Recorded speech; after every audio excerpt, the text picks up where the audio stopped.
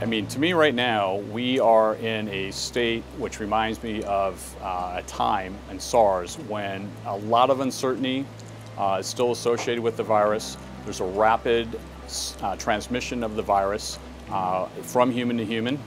Uh, we still don't understand where the end of this is going to be because we we could be in the just the middle and it'll be gone, you know, by the summer, uh, which happened with SARS, or this could be a uh, a coronavirus that may be around us for a long time. So we're still learning daily about how the virus is, um, is, is, transmitting. And I think that's just a, uh, it's a time where we need to gather as much data, analyze as much data, uh, be critical in the data that we're analyzing, and to, to know where we're at in time. If we look back to SARS, I mean, I think they're taking um, actions that are born from learning from the SARS outbreak in 2003 time period.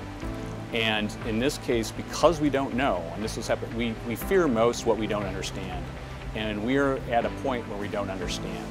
With a virus like this new coronavirus, we don't understand it. And I think, you know, you don't want to do too little, right? It may be in retrospect, you, we, and hopefully we look back like, wow, it wasn't as bad as we thought. That's the best position to be in. Uh, and we're working on the structures, the three-dimensional atomic structures of viruses and of the proteins in viruses.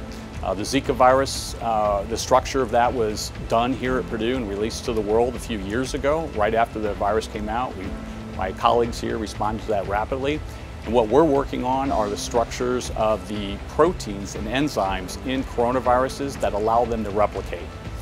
Understanding the process through the structure we can then figure out what kind of drug molecules can interrupt those processes, stop the runner or stop the enzyme, and basically uh, kill the virus.